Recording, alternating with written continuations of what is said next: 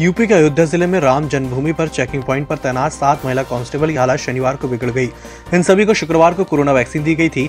बेचैनी और चक्कर आने जैसे लक्षणों के बाद उन्हें श्रीराम अस्पताल में भर्ती करवाया गया है। कृषि कानूनों का विरोध कर रहे 40 किसान संगठनों ने शनिवार को देशभर में चक्का जाम किया। उत्तर भारत के इलाकों में ज़्यादा असर देखा गया। किसानों ने राजस्थान, हरियाणा के बीच शाहजहांपुर बॉर्डर पर जाम लगा दिया है।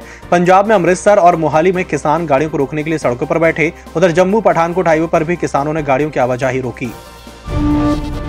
तीन केंद्रीय कृषि कानूनों को रद्द कराने की मांग को लेकर दिल्ली, यूपी के गाजियाबाद बॉर्डर पर चल रहा किसानों का धरना प्रदर्शन लंबा खिंच सकता है। दरअसल, किसानों के आंदोलन को लेकर भारतीय किसान यूनियन के राष्ट्रीय प्रवक्ता राकेश टिकैत ने बड़ा बयान दिया है। शनिवार को चक्का जाम से जुड़े एक सवाल में राकेश टिकैत ने कहा कि तीनों केंद्रीय कृषि कानूनों को रद्द करने की मांग को लेकर धरना प्रदर्शन आगामी दो अक्टूबर तक चलेगा। शुक्रवार को प्रदर्शनकारी किसानों के ग्रुप ने पंजाब के पटियाला में चल रही बॉबी देओल, विक्रांत मैसी और Sanya Malhotra star film love hostel की शूटिंग रुकवा दी है। रिपोर्ट्स के मुताबिक, इस दौरान एक्टर्स तो सेट पर नहीं थे, लेकिन क्रू मेंबर्स अपने इक्विपमेंट सेट कर रहे थे। किसानों ने काम करने से रोका और वहाँ से जाने के लिए कहा। भाजपा के राष्ट्रीय अध्यक्ष जेपी नड्डा आगामी विधानसभा चुनाव के मद्देनजर पार्टी के लिए जन समर्थन जुटाने के उद्देश्य से एक बार फिर बंगाल के दौरे पर हैं।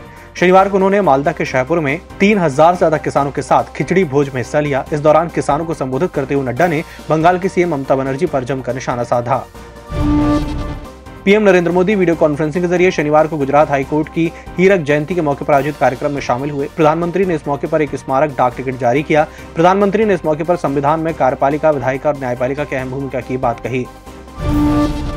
पश्चिम बंगाल में चुनावी मौसम गर्मा गया है। भाजपा शनिवार से परिवर्तन यात्रा की शुरुआत कर रही है। नादिया के नवद्वीप से पहली यात्रा भाजपा के राष्ट्रीय अध्यक्ष जेपी नड्डा शुरू करेंगे। इससे पहले मालदा में एक रैली में नड्डा ने कहा कि मुख्यमंत्री ममता बनर्जी ने बंगाल में प्रधानमंत्री किसान निधि को लागू नहीं होने दिया।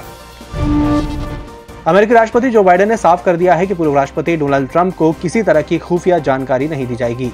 दरअसल, अमेरिका में यह परंपरा रही है कि पूर्व राष्ट्रपति को उतनी ही खुफिया सूचनाएँ यानी इंटेलिजेंस ब्रीफिंग दी जाती है जितनी वर्तमान राष्ट्रपति को। ऐसे में बाइडेन का फैसला ट्रंप की एक और फजीहत माना जा सकता है।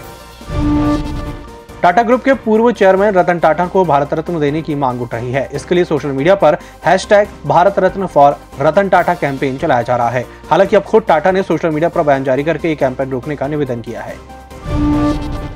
राजधानी भोपाल में डेढ़ साल की मासूम खेलते खेलते माँ की आँखों के सामने ही तीसरी मंजिल की छत से गिर गई। गंभीर हालत में माता पिता से अस्पताल ले गए, जहाँ इलाज के दौरान मासूम ने 30 घंटे तक मौत से लड़ने के बाद दम तोड़ दिया। और देश में कोरोना टेस्टिंग का आंकड़ा 20 करोड़ के पार हो गया है। इनमें से एक करोड़ आठ लाख पंद्रह हज़ार लोग संक्रमित हैं। राहत की बात यह है कि अब तक एक करोड़ पाँच लाख उन्यासी मरीज़ ठीक हो चुके हैं। संक्रमण से एक लाख चौवन हज़ार से ज़्यादा लोगों की मौत हो चुकी है।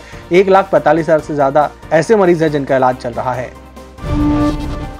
जम्मू कश्मीर में हाई स्पीड इंटरनेट सेवा बहाल कर दी गई है। 18 महीने बाद राज्य में 4G इंटरनेट सर्विस फिर से शुरू कर दी गई है। जम्मू कश्मीर के पावर एंड इन्फॉर्मेशन के प्रधान सचिव रोहित कंसल ने इस बात की जानकारी दी है।